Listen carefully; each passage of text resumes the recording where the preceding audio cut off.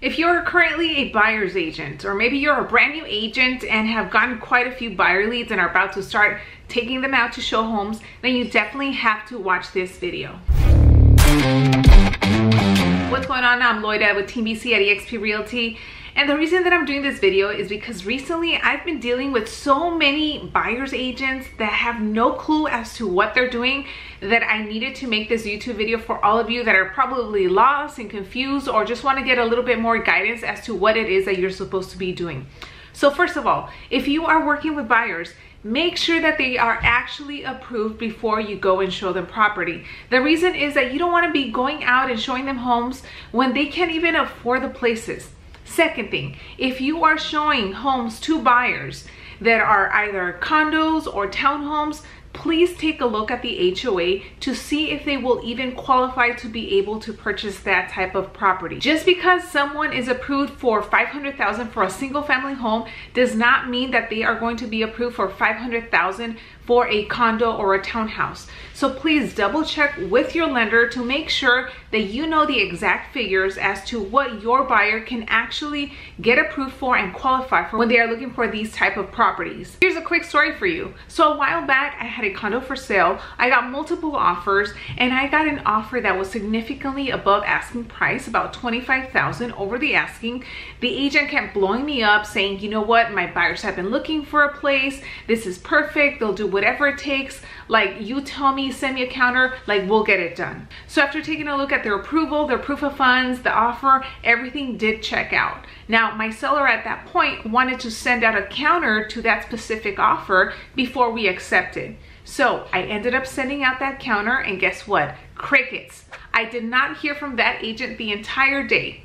And when I finally heard back from that agent I'm gonna put a screenshot here so you can see what she said. She said I'm sorry they will not be accepting. I'm sorry there is a language barrier.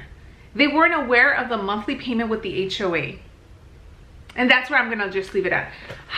First of all, I don't even understand how this could happen, but if you're a buyer's agent, if you're showing a condo or townhouse, please make sure that you let your clients know how much the association fees are because if the fees are too high and it's a deal breaker for them, you obviously do not want to be submitting an offer. What ended up happening in this case is that my seller got excited because we got this very good offer and it turns out that the buyer's agent didn't even do their job as to taking a look at all of the figures, the association, and all of the, the things that a buyer's agent should do prior to having their buyer write up an offer. Now, if you can tell, I got a little bit fired up there because it was a waste of my time as well.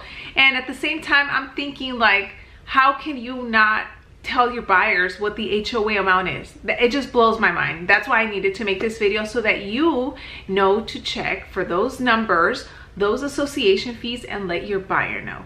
Talking about association fees, if you are going to be showing property like this, find out exactly what the HOA covers. Does it cover any utilities? Is there a gym? Is there a pool? Whatever it is, you wanna make sure that you get all of that information so that your buyer knows exactly where their money is going to. Now, the reason that an association fee might be a big deal for some buyers, it's because that fee is on top of whatever their mortgage is. So if it's really high, let's say their mortgage is gonna be 2100 and an HOA is $400, now we're looking at 2500 for their entire monthly payment of whatever it is that they have to spend.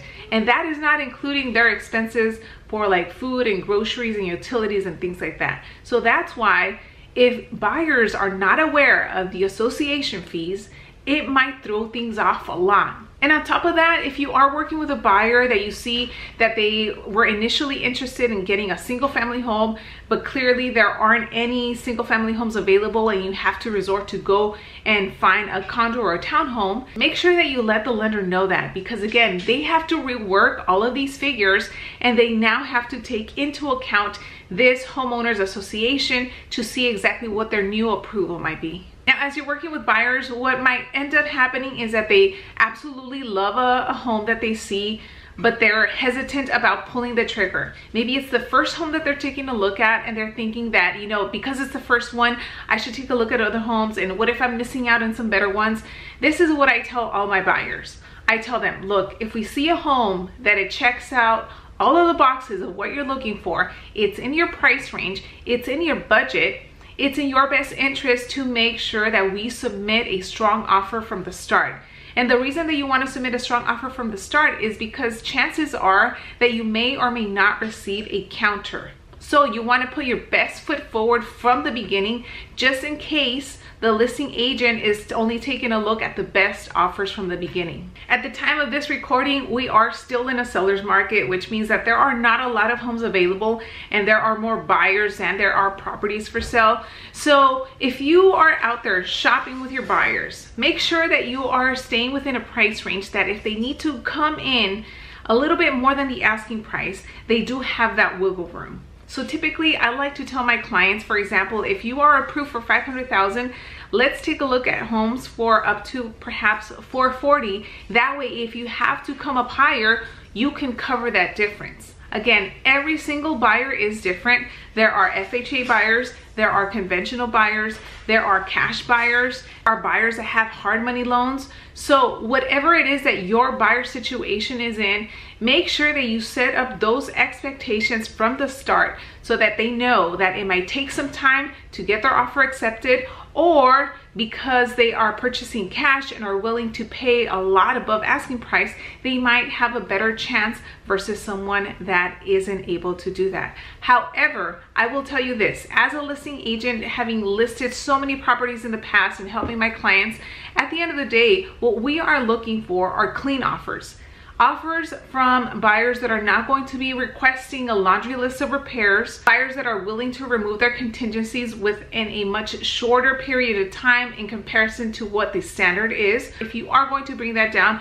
please make sure that you talk to your lender. That way you guys know to perform on time because if you can't perform within the time frame that you have put on the contract that means that you will now have to ask for an extension. And if you do not perform you will receive a notice to perform. And if you do not perform right then at that point the seller does have the right to cancel if they decide to do so. And yeah that's it for this video. I wanted to just go ahead and kind of tell you what has been on my mind recently because i'm seeing this happen too often and i thought it was common sense but at the end of the day you know maybe you're new maybe no one ever taught you before. So i'm glad that you're watching this video so that now you're more aware and come across more as a professional and as an agent that knows what they're doing once you're out there showing homes to your buyers and submitting offers. If you enjoyed this video, make sure you give it a thumbs up, share it with someone else, and I will see you on the next one.